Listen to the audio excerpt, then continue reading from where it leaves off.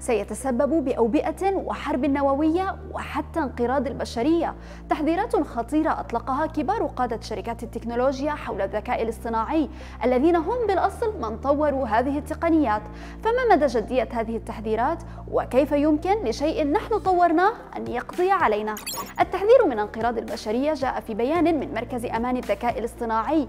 وقع عليه قادة شركات التكنولوجيا من بينهم سام ألتمان الرئيس التنفيذي لشركة OpenAI المطورة لبرنامج ChatGPT والمديرين التنفيذيين في شركة DeepMind وهي ذراع شركة جوجل في مجال الذكاء الاصطناعي وشركة مايكروسوفت.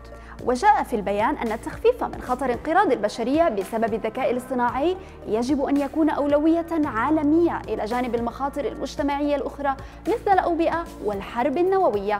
الخوف من الذكاء الاصطناعي أشعله روبوت الدردشة ChatGPT بعد أن صار أسرع تطبيق إنترنت نموا في التاريخ. فخلال الشهرين فقط وصل مستخدموه إلى 100 مليون مستخدم وهو رقم استغرق تطبيق إنستغرام عامين ونصف العام للوصول إليه. وفقا لشركة المراقبة التكنولوجية Sensor Tower الشعبية الهائلة ل ChatGPT أثارت تكهنات شديدة حول تأثير الذكاء الاصطناعي على مستقبل البشرية. تعالوا لنحاول فهم كيف يمكن للذكاء الاصطناعي الذي طورناه نحن أن يقضي علينا.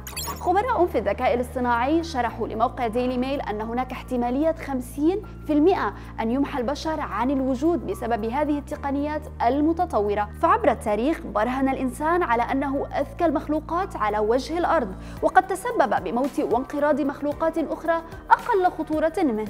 مثل طائر الدودو. لذلك بالنسبة لهؤلاء الخبراء عندما يصبح الذكاء الاصطناعي أكثر ذكاء منا نحن البشر فسينتظرنا نفس مصير المخلوقات. التي انقرضت سابقا.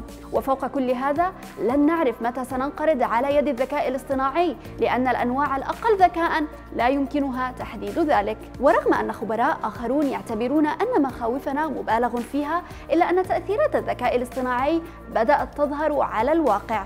خلال شهر واحد فقط خسر أربعة ألاف شخص وظائفهم في مايو الماضي. والسبب؟